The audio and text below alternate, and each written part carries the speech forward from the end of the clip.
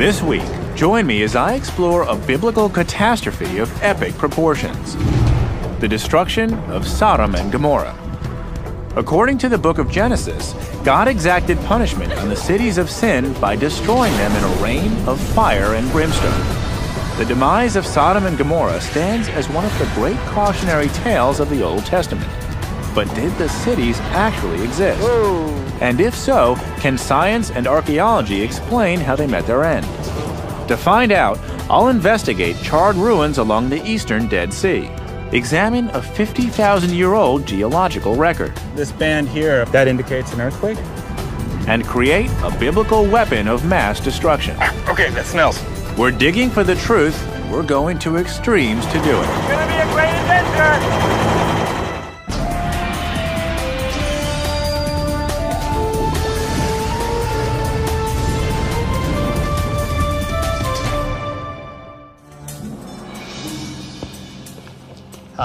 I'm Josh Bernstein. I'm at Jordan's most famous archaeological site, Petra. Isn't that spectacular?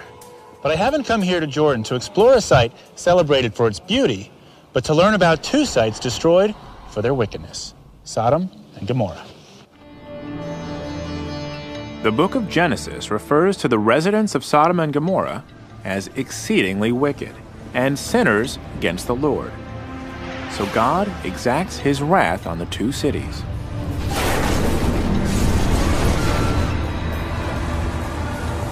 Only one man escapes the destruction of Sodom and Gomorrah Lot, the nephew of the biblical patriarch Abraham. God allows Lot, his wife, and his two daughters to flee the cities on one condition they must never look back. Lot's wife disobeys God's command and is turned into a pillar of salt. It's a great story. But is there any archaeological evidence to confirm it? Did Sodom and Gomorrah actually exist? The two cities make their first appearance in Genesis 10:19. They're listed among the so-called five cities of the plain: Admah, Zeboim, Zoar, and Sodom and Gomorrah. Many biblical scholars place these five cities here in the Jordan Valley bordering one of the world's most famous bodies of water, the Dead Sea. Over the course of many millennia, water evaporated more quickly from the Dead Sea than it was replenished. Eventually, it became so salty that it could no longer sustain any life. Thus the name. But interestingly, some of the locals here refer to it by a different moniker Buhayrat Lut, Arabic for the Sea of Lot. At just over 1,300 feet below sea level, it's the lowest place on Earth. This is also the place where many scholars believe the cities of Sodom and Gomorrah once stood. Some believe they were on the western side in modern day Israel. Others believe they were here on the eastern side in Jordan. And still others believe that the cities are actually beneath the very waters, the Dead Sea itself. In order to narrow my search, I've contacted Jordanian scholar Rami Khouri. For decades, Rami has compiled a written record of all the archaeological sites in Jordan. He's brought me to the Wadi Mujib Nature Reserve to meet a key figure from the Sodom and Gomorrah story. The physical testament to the enduring power of one of the Bible's most arresting symbols Lot's wife. It's a message, it's a moral message which uh, is personified in the physical remains. Here she is. There she is. Can I go closer? Yeah, yeah, go ahead. Lot's wife, perched above the Dead Sea Highway, is actually a salt encrusted stone pillar etched by wind and water. Oh, she's big. Yeah. With a height of over 20 feet, she's an imposing figure, but maybe a little too big to be anything more than a biblical scarecrow created by local legend. So, if we're looking at this metaphorically and not literally, what's the message? I think the message from the biblical text, certainly, and it goes throughout the whole text into the New Testament, uh, is that people should, should obey God, should be faithful, and should trust God. And if you don't obey God, you get zapped again throughout the Bible. So, the people in this region could use this as sort of a boogeyman. to say you better listen to God when He speaks because otherwise you're going to turn into that pillar. That's right. I think that's the um, aim of the story, and, and of course, many stories in the Bible are like this. Mm-hmm. The interesting question is well, when did these stories first originate? When did these narratives first become uh, institutionalized in the values and the memories sure. uh, uh, of a society? Rami explains the Bible was written as much as 1,500 years after the events of Sodom and Gomorrah supposedly took place. He says the Genesis account was likely passed down through centuries old oral tradition, and then later transcribed into the written word. These stories, these narratives, are based on facts that we can um, prove in many cases geological facts, geographical facts, chronological facts, and historical facts. So there actually could have been a Sodom and Gomorrah? I think there were cities that were destroyed. You will certainly find sites where the archaeological evidence uh, synchronizes rather compellingly with the biblical evidence. Many accept the Bible as the Word of God, unquestionable fact. But archaeology seeks physical proof, and Rami says there's plenty of things he wants to show me. Our first stop, the small city of Madaba, some 30 miles away, just south of the capital city of Jordan, Amman. He's taking me to see an ancient mosaic one that contains clues to the precise location of the five cities of the plain. Madaba itself is world renowned for the decorative stone floor mosaics that fill the Greek Byzantine churches. Byzantine originally at the bottom and then rebuilt uh, in the 19th century. During the construction of the Greek Orthodox Church of St. George, the builders found a 6th century mosaic embedded in the floor of this house of worship. And as they're rebuilding it as a church, they discovered this extraordinary mosaic map of the Holy Land. Rami says over 11,000 man hours went into creating this 900 square foot mosaic, and that the floor was originally composed of 2.3 million pieces of colored stone. This is where? I can't read any of this. Well, when you look at it from here, this is Jerusalem, walled city of Jerusalem. Okay. You have the Jordan River with the fish going up and down. Okay. You can see the Dead Sea with the two boats and. Amazingly, the mosaic's key cities line up closely with their modern counterparts when positioned within a 21st century map, like Jerusalem, Jericho, and the Jordanian fortress at Karak. The apparent accuracy of the Madaba map has convinced Rami that the cities of the plain, including Sodom and Gomorrah, once stood on the Jordanian side of the Dead Sea. There's Sodom and Gomorrah on this map? Well, not completely, but let me take you around this side and I'll show okay. you. Here's what you want to see. Balak uh, Zoar, some, something this like is. Bela or Zoar. Remember the cities, the names of the five cities? Oh, here, Zoara. Yeah. Rami points to a mm-hmm. church just east of Zoar with a different inscription. Okay, so this, what is this here? To Agio El to Saint L or to the Holy L. L. The letter L. Uh-huh. Lot, maybe. we think that we think that L means Lot. Unfortunately, the rest of the word is missing. But when you're tracking down the story of Lot, at least it's a start. But we do have Zoar, one of the five cities of the plain, and the mountains where Lot and his daughters took refuge. But this, this is encouraging that one of the cities of the plain is here. Right. So if I were looking for Sodom and Gomorrah or the other cities of the plain, I want to be here, southeast corner of the Dead Sea. That's cool. All right, that's where I'm going. I've come to the kingdom of Jordan in search of Sodom and Gomorrah. The twin cities that the Bible claims were destroyed by God because of their sins. In Genesis, Sodom and Gomorrah are identified as two of the five cities of the plain. Now, thanks to a 1400 year old map, I've identified the location of a third, Zoar. On the same map, right next to Zoar, I was shown the image of an ancient monastery.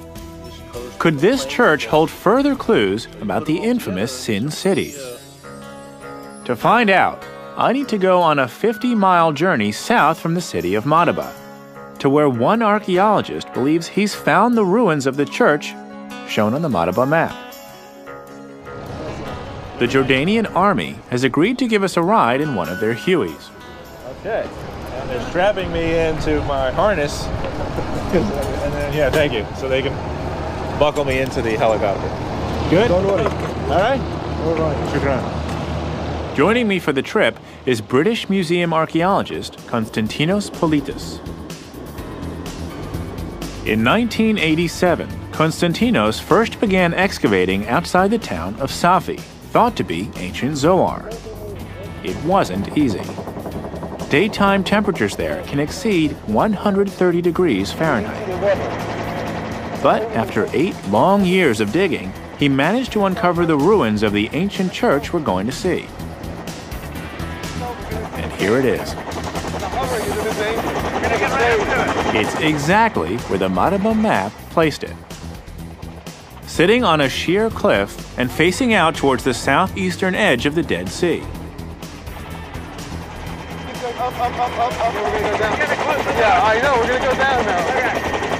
From the chopper, we get a bird's eye view of the entire site. It's spectacular. But why would anyone have built this church in such an inaccessible and rocky place? Our helicopter can't set down on top of the mountain, so we land at its base, nearly 500 feet below the archaeological site.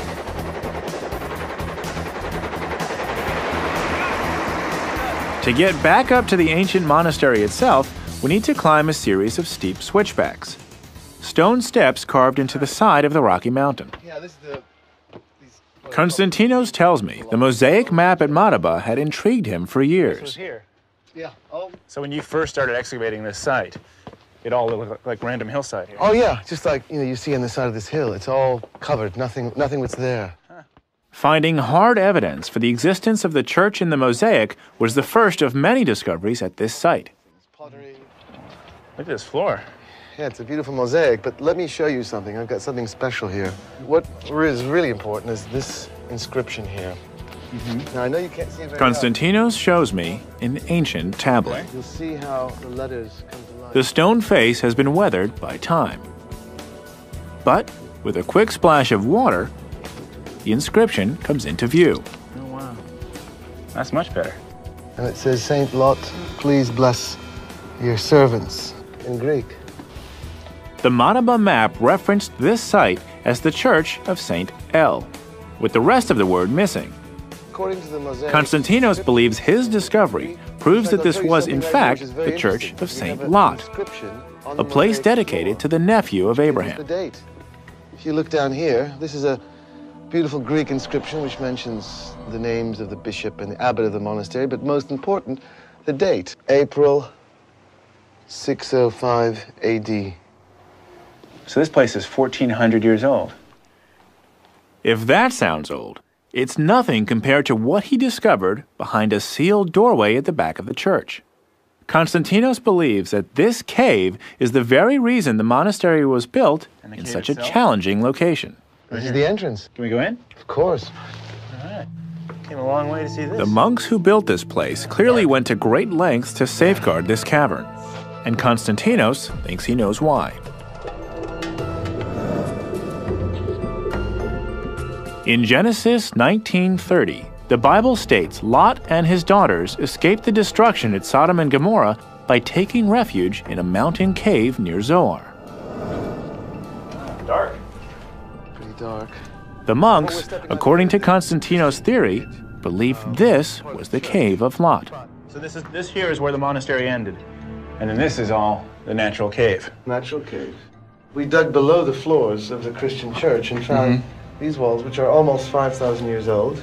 And look at this pottery. Well, we have pots, yes, which we found in this area. There were burials and occupation. Mm-hmm. This dates from the early Bronze Age period, uh, almost 5,000 years ago. No one knows the exact year that Sodom and Gomorrah might have been destroyed, but biblical scholars estimate it would have been between the early and middle Bronze Ages, between 2500 and 1700 BC. And the artifacts found here prove that this cave was occupied during this same period. So I have to ask Is this Lot's cave?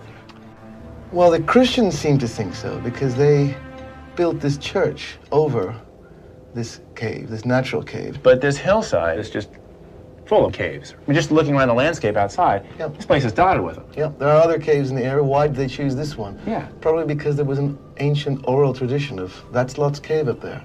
So when the Christians came, they decided to build this church over what was already thought of to be Lot's cave. Mm-hmm. So it's a matter of belief. They believed it. But there's no smoking gun, no single artifact confirming that the family of Lot ever sheltered here. Still, there is another way to get closer to the story of Lot, his family, and their journey to the cities of the plain. I'm going back to the biblical record to retrace the path Lot may have taken to arrive at the doomed city, Sodom. According to Genesis 13, Lot and his uncle Abraham share land in Bethel, within modern day Israel. But Lot decides to move his family and belongings southeast into the Jordan Valley to expand his domain and provide ample room for his herds to grow. Genesis 13:12 Lot settled in the cities of the plain and moved his tents as far as Sodom. But the question is, where is Sodom? In order to pick up Lot's trail, I've contacted some Jordanian guides familiar with the territory.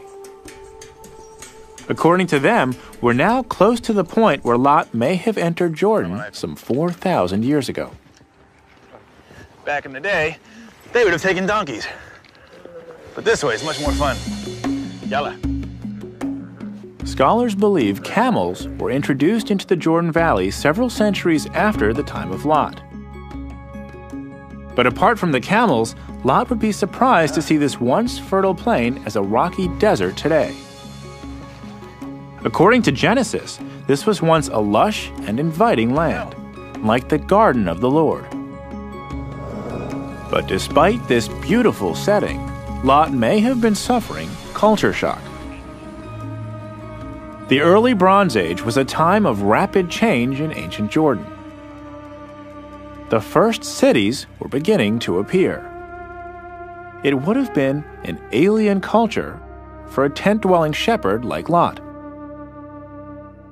My guides tell me that tonight we'll join a local Bedouin tribe and pitch our tent near the very spot where many locals and scholars believe the biblical Sodom once stood.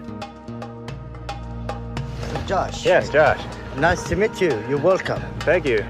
The Bedouin preserve a way of life that's changed little since the time when the biblical Lot would have erected his tent outside Sodom. Mm-hmm. Okay, you just tell me what to do and I'll do it. I, All right, sir.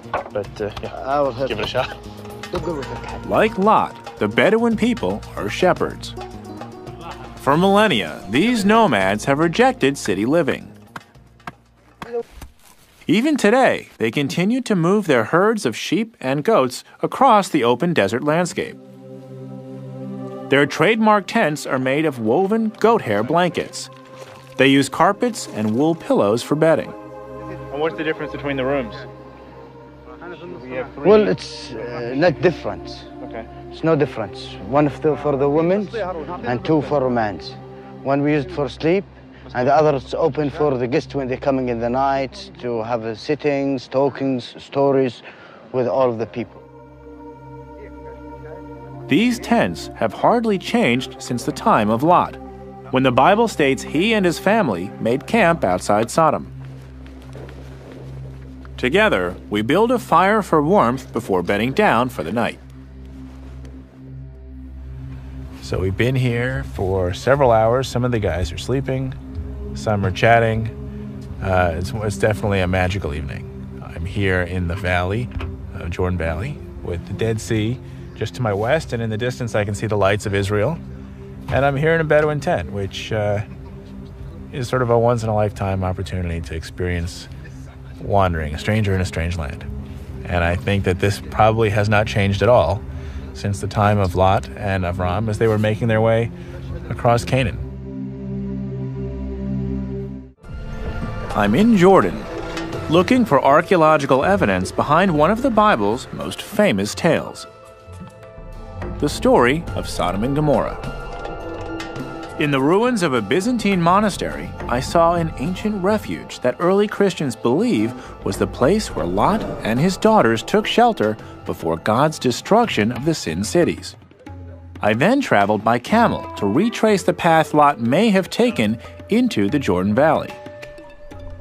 Now, my goal is to find evidence of the city he ultimately fled Sodom. Thank you. Many scholars and historians believe the best archaeological candidate for Sodom is a desert ruin called Bab edh-Dhra. To the casual eye, it looks just like any other rocky outcrop. But for Dr. Thomas Schaub, the lead archaeologist at this site, Bab edh-Dhra represents an ancient fortress. Established during the early Bronze Age here in Jordan. You can see the face of the wall here has collapsed somewhat, but you have to imagine this as having a mud brick superstructure going up about 30 feet. Today, There's it's hard to see. But this was once a 10 acre city enclosed by these massive walls, over 23 feet wide and over 30 feet tall. Dozens of mud brick houses were stacked along the interior. At its height, Bab edh-Dhra housed and protected as much as 1,000 people. So it was quite an impressive area, but you have to use your imagination a little bit to little bit, yeah. a little bit. recreate that. But we still Today, have it there. the ruin doesn't look like much. Over the past 4,300 years, many of its walls and its mud brick homes have collapsed.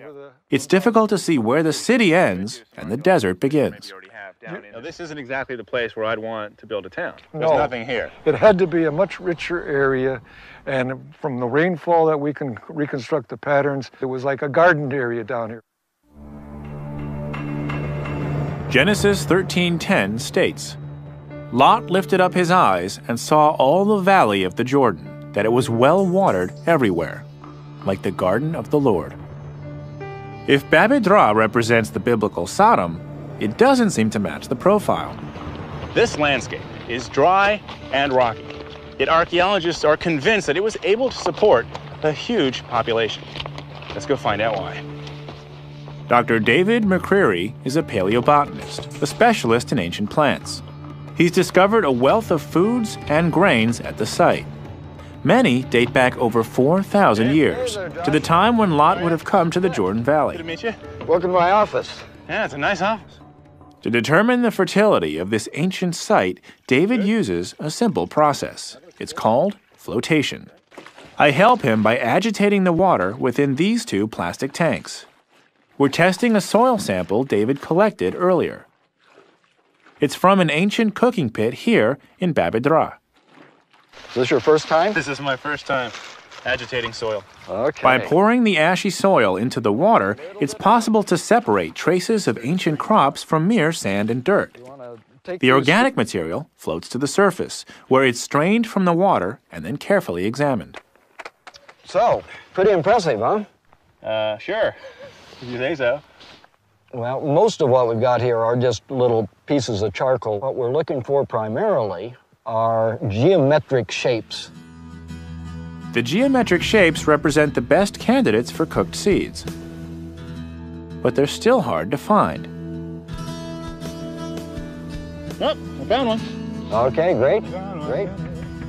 David tells me it's a 4,500 year old grain of barley. It's exciting. That's pretty exciting, I've never been so excited about one single grain of barley in my life.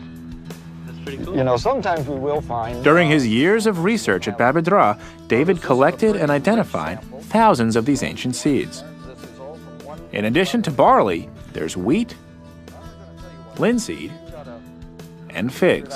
All these crops share one thing in common they only grow where there's plenty of water and irrigation. especially the emmer wheat, it's typically grown under irrigation. The six row barley has to be grown under irrigation. The mm-hmm. linseeds, if they're longer than four millimeters in length, uh, that's another indication of irrigation. It couldn't be just a heavy rainfall.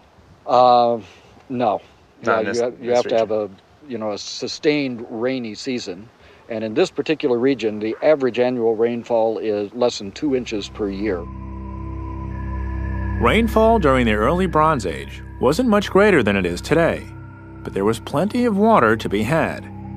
Studies have shown that the level of the Dead Sea was nearly 400 feet higher than it is today. There's also evidence of an ancient lake bed and natural springs right at the base of Bab edh-Dhra's walled perimeter. It was this steady supply of groundwater that allowed these city dwellers to irrigate their plants. The Bible describes this region as well watered. Right. And I'm looking for these cities of the plain. Is it, does this meet that criteria? I would say uh, Bab edh-Dhra is probably the best watered, certainly would have been one of the most fertile uh, parts of the entire region during the early Bronze Age. So, absolutely, there would have been resources here that anybody would want to take advantage of. Broken rocks and seeds offer a snapshot of Bab edh-Dhra as a city of prosperity. But is this the kind of well established and enduring city that would have brought Lot to its doorstep? One that could qualify as a candidate for Sodom. To help me better understand the people and the ancient customs of Bab edh-Dhra, Tom Schaub takes me to the city graveyard to examine the burial record. This pockmarked plain, just outside the city walls, is one of the largest cemeteries in the Middle East. Cemetery. You'll notice all the bones and the broken pottery. This is all from tomb robbers. You can see we've got all kinds of chambers around here. Let's see if we can find one that has a. This was the final resting place for the people of this Bronze Age city for 1,200 years. The archaeology here is complete. So Tom gives me the okay to see one of the burial chambers myself. Oh, If I'm not back in five minutes, send a search party. we'll send the search party, right. This grave is over 4,000 years old. It's a tight fit, like entering a desert igloo. The dome chamber is only 3 feet tall and 5 feet deep. Like all the chambers here, this one's now empty. But when Tom and his team excavated these burial chambers in the 1970s and 80s, they found over 200,000 skeletons in over 20,000 tombs. Around the outside edge of the chambers, special pots were placed as dedicated offerings to the deceased. The contents of these burial sites were recorded, removed, and preserved. Uh, good day for laundry. Tom has brought some of the funerary pieces from inside the burial chambers to show me. All of these pots are over 4,300 years old. The pottery, the agricultural record, the massive numbers of skeletal remains. These all point to the fact that Bab edh-Dhra was a sizable Bronze Age community that thrived in the Jordan Valley for centuries. A place of prosperity, a world not of tents, but of fixed homes with a food supply that was guaranteed. A city that might have attracted Lot. So if, going back to Lot's time, if he were seeking a place, and if Lot were going to a city of the plain, this could be one of them. Yes, if, if, if Lot was traveling during the early Bronze Age and came down to this area, it would be the only place. If you have an individual like Lot or any group traveling through the early Bronze Age at that time, this would be the place to settle. This was the only place. It's the dominant town for that period from the third millennium on in this part of the area. But this is where the archaeological record of Bab edh-Dhra seems to part company with the biblical story. Its collapse was more of a whimper than a bang. Tom tells me the city was slowly abandoned over a period of a hundred years. The Bible states that the cities of Sodom and Gomorrah ended in fire and destruction, and there's no evidence of conflagration at Bab edh-Dhra. To find Sodom, I need physical evidence of a fiery cataclysm here in the Jordan Valley. I'm following in the footsteps of Lot, nephew of the biblical patriarch Abraham, in a quest to find the infamous cities Sodom and Gomorrah. I've investigated the ruins of an early Bronze Age site, considered by some to be the biblical Sodom. I've also seen its burial ground, thought to be one of the largest in the Middle East. But this ancient city shows no evidence of being completely destroyed by fire. And the biblical description of Sodom and Gomorrah's final hours is as clear as it is apocalyptic.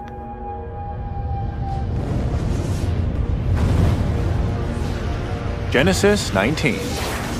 Then the Lord rained down upon Sodom and upon Gomorrah brimstone and fire from the Lord out of heaven. And he overthrew those cities, and all the plain, and all the inhabitants of the cities, and that which grew upon the ground. It's a description of total devastation covering miles of territory along the Dead Sea Plain. Today, many scholars believe the biblical story could be the retelling of a natural disaster.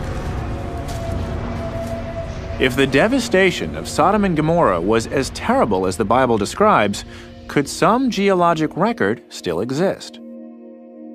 To find out, I'm leaving Jordan and traveling west into Israel, to Ein Gedi, fewer than 30 miles from Bab edh-Dhra. I'm with Dr. Shmuel Marco, an expert on the geological history of the biblical lands. Shmuel wants to show me a remarkable record of the many earthquakes that have shaken this region. Earthquakes that date back to the time of Abraham and Lot, and well beyond. Together, we'll examine these chalky white walls in search of clues in the geological record. Clues that might explain the upheaval that caused the destruction of Sodom and Gomorrah. We're going to climb up there. The climbing gear is already there, so we'll have to rappel this cliff over there on top. Fine. Okay. Lead the way. Shmuel tells me there have been 17 recorded earthquakes in the Dead Sea region just in the past century. The Salty Sea sits right on top of an immense geological fault. It's a tear in the Earth's crust that stretches from Lebanon to Mozambique. A 4,000 mile geological fault line that marks the dividing line between the African and Arabian tectonic plates. If this fault was active at the time of Sodom and Gomorrah, could an earthquake help explain how the cities were destroyed? That's a nice view. This is the Dead Proper. Sea, this is the Moab Mountains. Yeah. We are standing on the on the bottom of an ancient lake that was here in the last ice age until about 15,000 uh, years ago. A drastically falling water table has left this Might lake bed very high and very dry. Today it stands on the edge of an arid desert gully 150 feet deep. Our plan is to rappel down the cliff's edge so Shmuel can show me the layers of sediment left behind after the lake receded. Let's go check it out.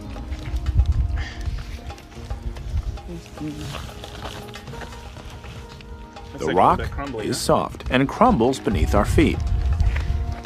But it's still easy to see that this cliff face is composed of thousands upon thousands of tiny layers. In fact, each layer was formed by the cyclical deposition of sediment on the floor of this ancient lake. What does one line represent? One layer represents uh, uh, one season deposited at the bottom of a lake. White layers represent the summer seasons, and brown layers represent winter. So you can date these layers the way someone might date tree rings. Exactly. These are the tree rings are the, the exact analog to these layers. The, the, the difference is that trees don't live 50,000 years. Here we have more than 50,000 years record. So this is a very long record here. We have the longest record on Earth. Wow. This 50,000 year record allows geologists to clearly see when earthquakes shook the region. We're looking for layers like this that mm-hmm. are uh, disturbed. Shmuel points to a large band of sediment different from the rest. Mm-hmm. It's thicker and jumbled. The sediment accumulated up to here.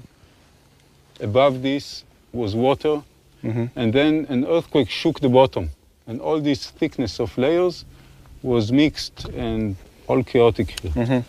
This is one earthquake that disrupted a, a- a layer that's worth several hundreds of years of deposition. Okay. Yes. Shmuel explains that this earthquake would have registered over 6.0 on the Richter scale, more than enough to have destroyed a city that, like Sodom or Gomorrah, was built of mud bricks and stone. And according to Shmuel, the evidence is very compelling that this is precisely what occurred. You see, this- it tells us that around 4,000 years ago, there could have been an earthquake. There were earthquakes in this region of time. So in this case, the geological evidence supports the possibility of Sodom and Gomorrah actually being destroyed. Absolutely, yeah. It's very likely. So it's well, it's not just possible; it's likely. It's very likely. Still, an earthquake alone isn't enough. To fully corroborate the tale of Sodom and Gomorrah's destruction, I need more than a seismic event. I need fire and brimstone. And I know just the man for the job. I'm rejoining Rami Huri at the eastern edge of the Dead Sea, on the Lisan Peninsula. We're fewer than 10 miles from the ruins of Bab edh-Dhra and 20 miles from Safi, thought to be ancient Zoar. That's the information in the Bible. Rami has told me of an intriguing idea. If he's right, he'll be drawing a direct line from the Genesis story to where we're now standing on the Dead Sea Plain. Yeah, everything that's mentioned in the Bible and the story of Sodom and Gomorrah, in terms of natural resources and geology and terrain, is still here. Hasn't changed uh, very much. Rami explains that one of the Bible's supernatural resources, brimstone, exists here in its natural state. What do you think that is? I don't know, some sort of chalk? That's almost pure sulfur. Sulfur. Pure sulfur. Very high uh, quality. Tastes like sulfur. And it's throughout the walls here. It's throughout, not just throughout the walls, it's throughout this whole area. The whole area is full of this stuff. Hey, let's get a couple more of these babies, Okay. and I'll show you what, uh, what happens to it.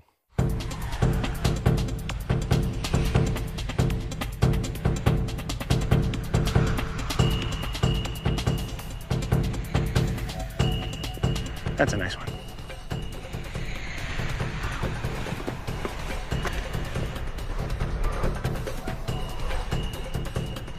Did pretty well. Yeah. I'm not exactly sure what Rami hopes to show me with this pile of sulfur, but he better make it quick. It's getting dark out here. Pick it up. Let me show you. You know what happens to sulfur when you light it? Well, it lights, catches fire. Oh. Okay. Okay, that smells. Wait Yeah, better put it down. That's burning sulfur, otherwise known as brimstone. And my whole life I didn't know what brimstone was. Well, brimstone just means burning stone in uh, sort of medieval English. References to fire and brimstone are found throughout the Bible. In fact, they're the preferred instruments of divine retribution. And Rami explains brimstone was used as a fuel throughout the Dead Sea Plain for thousands of years.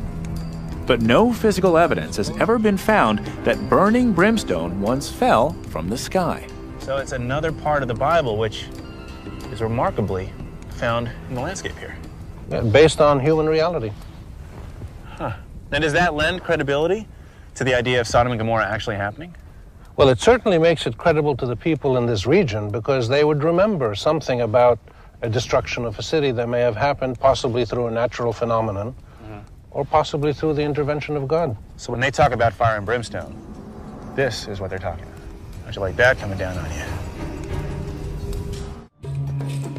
Sodom and Gomorrah. Could the biblical story of their sudden destruction possibly be true?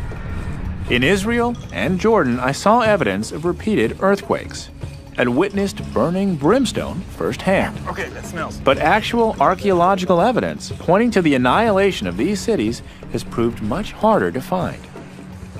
Now, on the last leg of my journey, I'm traveling 15 miles south to an archaeological site called Numeira. It's an early Bronze Age city that also dates back to the time when Abraham and Lot are thought to have lived. Unlike the last ruin I visited, Bab edh-Dhra, this city suffered a dramatic and almost instantaneous collapse around 2400 BC. I'm rejoining archaeologist Thomas Schaub to learn more about the site he discovered in 1973 and to see if there's something in the archaeological record here that ties Numeira to Sodom and Gomorrah. Sort of threat. When we excavated here, this was a straight face, and you had a beautiful looking tower. What we found on the bottom of here, and I actually can show you the, the spot mm-hmm. under this ash, flat on a horizontal floor, Yeah. were two skeletons, one with a rock on top of its head, who had clearly been killed in the collapse of the tower. Bodies. two bodies. Two bodies here, The two skeletons almost side by side. like this. Right, and the feet stretched out. Okay. at that angle. Okay. And uh, clearly had been killed in the last phases of the tower, with the tower collapsing on top of them Heads crushed. by the falling stones from the tower. This photograph shows the two early Bronze Age skeletons found beneath the fallen tower. A stone shattered this skull. Something terrible must have happened for these bodies to be left unburied. Tom believes an earthquake may have triggered the tower's collapse some 4,400 years ago. Well, this, as you probably know, is a very active tectonic zone here in the Jordan Valley. We've had 17 earthquakes in the last 100 years that they've recorded. And it's possible that an earthquake could have caused this damage. It's very possible. Uh, we're not sure, but that's one possibility. Well, let's take Then Tom takes me to another part of the site. For many people, it offers a profound connection between the historical Numeira and the biblical account of Sodom and Gomorrah. He leads me to a pit where paleobotanist David McCreery is waiting for me. David wants to show me a remarkable series of layers in the soil, which record the final hours of Numeira. exactly what's going on. What's very clear is that we've got uh, two burn layers. Uh, a burn layer up here, you can see chunks of charcoal. Yeah. Those are probably from the wooden beams that would have supported uh, the roofs. This layer is between 20 and 30 centimeters thick. Okay. And then below that, you have a much hotter, what I'm interpreting is a hotter burn layer. Whiter is hotter. Whiter is hotter, yeah, that's this ash. So this is not a small fire that got out of control. This is a huge fire that burned everything. It certainly shows up in every part of the city that we've excavated so far. Then that would that would mean that this whole city was consumed in fire. That would certainly be a strong implication. Uh, it appears as if the entire city is burnt Right. and then abandoned. We don't have evidence of occupation after uh, the destruction of this layers. If the writers of Genesis were aware of Numeira's destruction, this might have provided the inspiration for the biblical story. A Bronze Age city literally burned to the ground along the edge of the Dead Sea Plain, correlating closely to the time of Lot. Given where we are relative to the Dead Sea, relative to the stories in the Bible, I'm seeing a city here that was completely destroyed by fire. Right. Could this have any relevance to the stories of Sodom and Gomorrah? Uh, it could, I suppose. Um, as an archaeologist, again, I think we're restricted to the evidence so that we can only say that there was a massive dis- uh, destruction. Fire destroyed the uh, entire city in a catastrophic event, and the evidence would suggest that after that fire, people did not resettle at the site. The cause of that destruction, I think, from an archaeological point of view, is just up in the air. We just don't have the evidence to say whether it was uh, a man made or a natural disaster of some kind. All we can say from the, from the material evidence is there was a fire, destroyed the city, the people didn't return. Whether the biblical account involving the destruction of Sodom and Gomorrah was the retelling of a natural or supernatural event, we may never know. But we do know the cities of the plain were susceptible to earthquakes. And this was a region rich in combustible fuels, like brimstone. This charred ruin can't be ruled out as one of the sin cities. If one day archaeologists can definitively place Lot in the Dead Sea Plain during the early Bronze Age, the truth about the final locations of Sodom and Gomorrah may finally be confirmed.